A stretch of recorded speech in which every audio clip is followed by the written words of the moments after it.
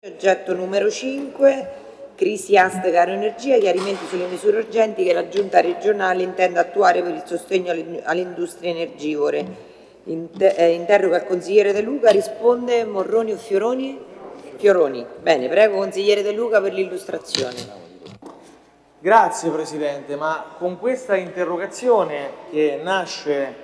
da quelli che sono gli eventi delle ultime settimane,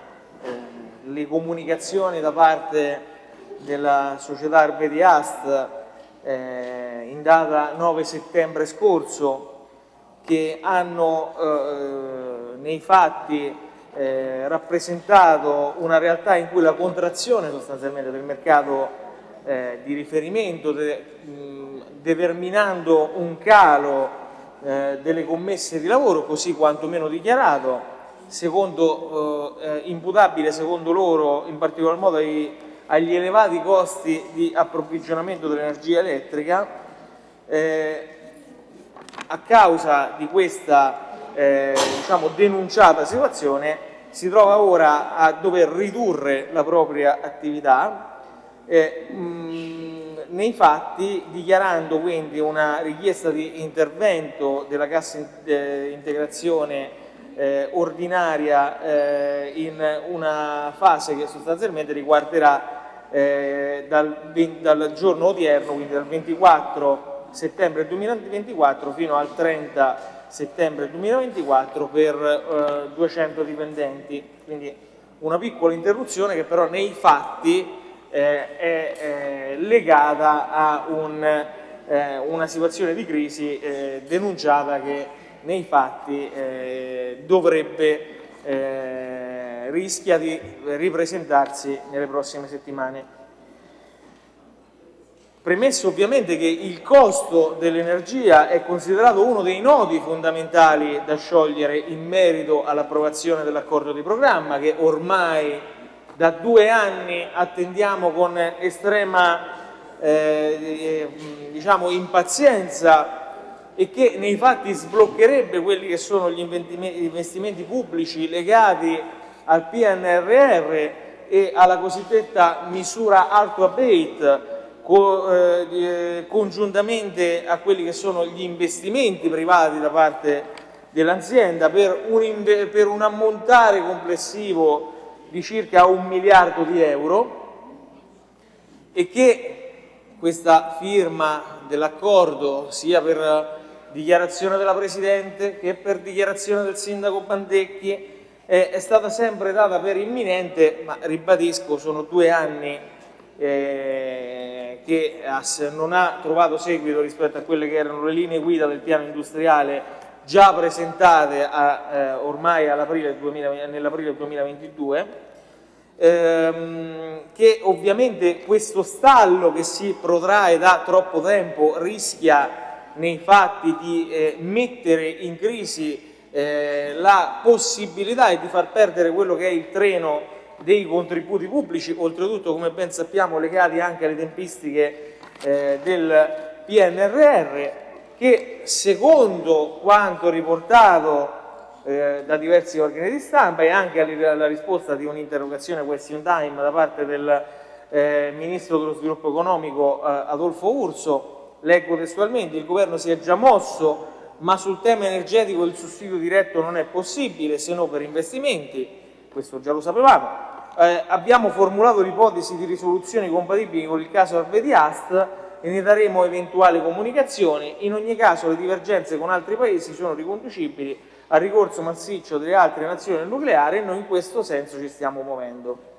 Considerando quindi che nell'interpretazione di queste parole, eh, che definiscono insomma, come soluzione il, eh, la realizzazione quindi di un impianto nucleare. Eh, nei fatti stiamo parlando di soluzioni che hanno delle tempistiche oggettive e improcrastinabili di almeno 10 anni e che quindi non sono in alcun modo state poste sul tavolo delle soluzioni immediate così come richiesto invece dalla proprietà Veriast Considerato che, e concludo Presidente, l'articolo 21, lo sa bene l'assessore Morroni, mi dispiace che non c'è, eh, avrei voluto magari ecco, una, un contributo anche da parte sua, l'articolo 21 della legge regionale 1 eh, 2023, cui abbiamo eh, lavorato eh, insieme e vedo uno dei suoi protagonisti, il consigliere Carissimi, di quella legge. Eh, L'articolo 21, cessione di energia,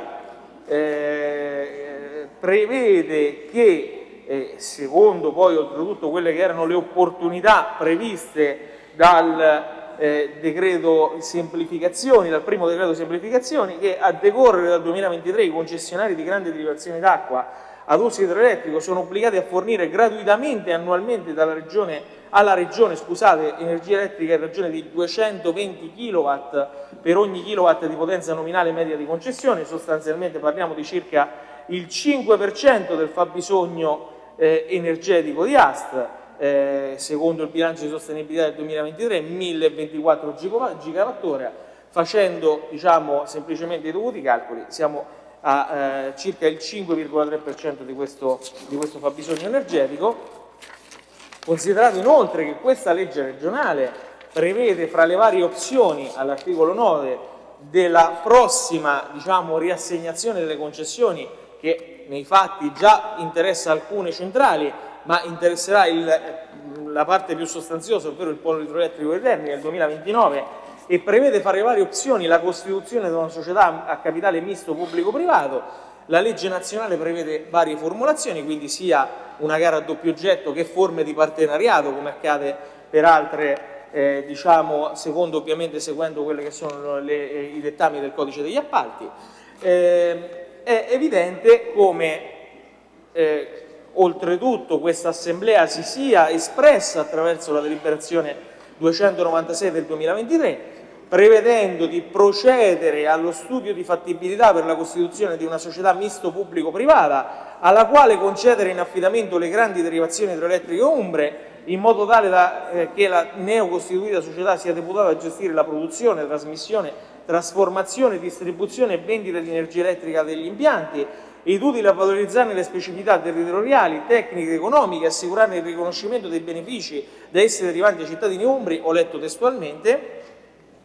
considerando che la creazione di una società misto pubblico-privata, ripeto, così come premesso dal, avrebbe il duplice effetto di garantire da una parte la possibilità ovviamente di moltiplicare i benefici e gli introiti per la collettività Umbra e contestualmente di poter permettere anche a un soggetto privato come eh, AST di poter entrare quindi all'interno della eh, co, diciamo, eh, compagine societaria e quindi poter beneficiare come socio imprenditore di eh, quelli che sono eh, ovviamente gli utilizzi eh, di un'energia allocata in maniera di prossimità rispetto a quello che sono eh, il, il, il, consumo,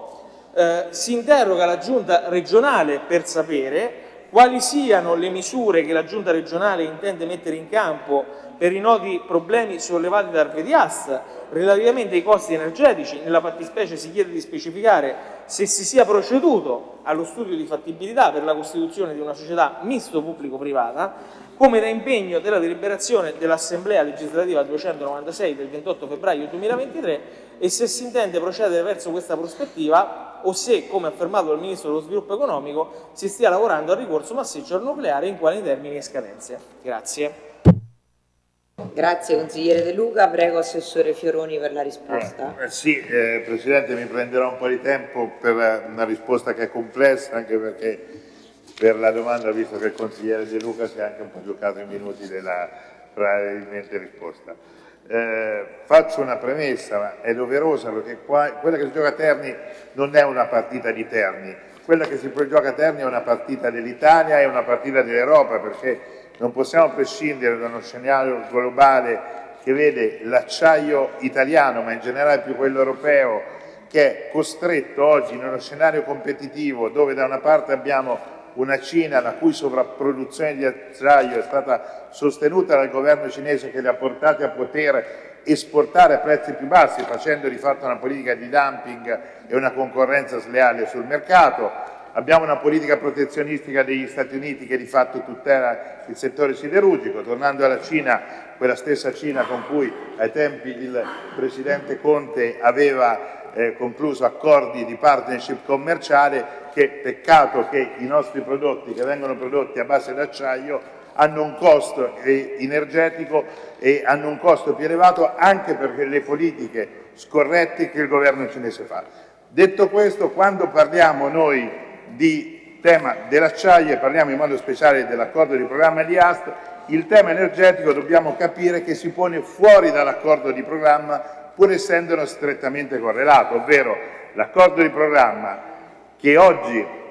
di fatto è giunto a compimento, ha avuto l'ostacolo più importante superato che era quello di una deroga da Bruxelles relativamente al sistema degli aiuti di Stato. Ottenuta questa deroga, che era la condizione più ostativa, che andava a vedere e valutare il perimetro degli investimenti sostenuti dallo Stato,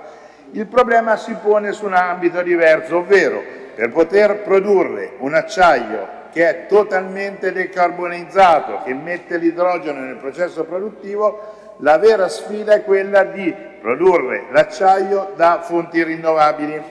E su questo ci sarebbero condizioni ideali e uniche che rendono Terni, l'acciaieria di Terni, l'unica acciaieria che è direttamente collocata in vicinanza di una grande derivazione, quindi sarebbe fattibile un PPA, il tema si pone in questo punto con chi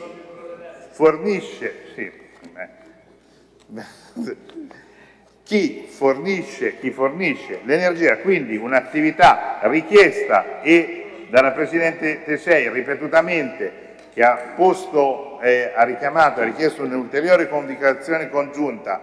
con il Ministro Urso, nessuno ha mai parlato di nucleare per Terni. Eh, consigliere Luca, la tranquillizzo, il tema è quello dell'elettricità è quello del eh, costo dell'energia perché per gli investimenti di Terni sono fatti dal gruppo AST per produrre il miglior acciaio come qualità ma soprattutto il miglior acciaio come sostenibilità. Per questo processo produttivo serve mettersi al tavolo in modo particolare con Enel su cui la Presidente Tesei ha iniziato anche tramite il Governo a fare un'attività importante di moral suasion affinché il, il, tema specifico di Aster venga considerato da, Terni, da, da Enel come un elemento unico per le sue caratteristiche, quindi un qualcosa derogabile anche a meccanismi tradizionali di mercato, anche perché, ripeto, in questo momento c'è in ballo una problematica che non impatta le acciaierie di Terni, non impatta l'Umbria, ma riguarda la competitività del sistema siderurgico europeo. E oggi tutta la crisi che noi abbiamo anche sull'automotive è un ulteriore elemento che contribuisce a indebolire un sistema siderurgico soprattutto per quanto riguarda l'Italia si è sempre caratterizzato per una produzione di acciaio ad altissima qualità, un'altissima innovazione tecnologica che ha visto però in una politica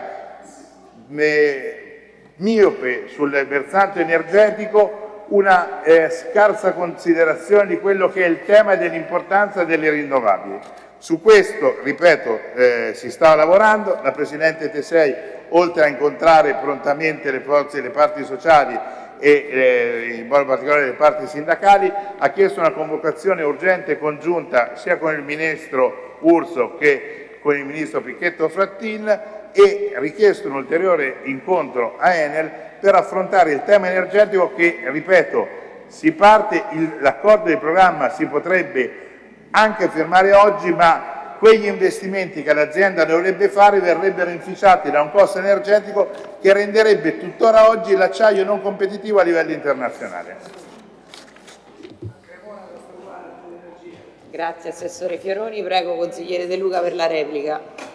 Cioè, io sono allucinato. Cioè, praticamente la regione Umbria, lo Stato italiano dovrebbero mettersi seduti a un tavolo con un soggetto che sostanzialmente nel 2029 dovrebbe partecipare come qualsiasi altro privato all'interno di una gara di concessione. No? Per me questa è una sciocchezza enorme e che dimostra totale, il vuoto pneumatico da parte della politica, perché noi abbiamo tutti gli strumenti legislativi che abbiamo costruito qui dentro per poter dire la Regione si pone in una condizione di governance politica delle proprie risorse naturali, pone al centro della discussione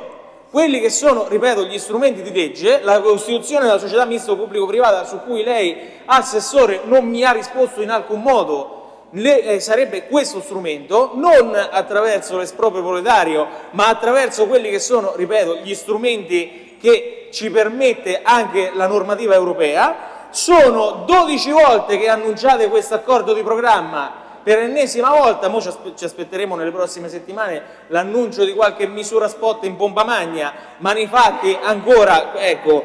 ha parlato di, di accordo di fatto giunto a compimento, so dieci volte, potrei riprendere tutte le vostre dichiarazioni, ogni volta era giunto a compimento, non è stato giunto a compimento un bel amato un ciufolo, ecco, eh, io penso che ognuno debba fare la sua parte, e debba mettersi in condizione di non nascondersi dietro al, eh, diciamo, al paravento della geopolitica mondiale, in questo momento, come si dice a casa mia, aiutati che Dio ti aiuta, noi abbiamo la possibilità di fare la nostra parte e la Regione deve farla.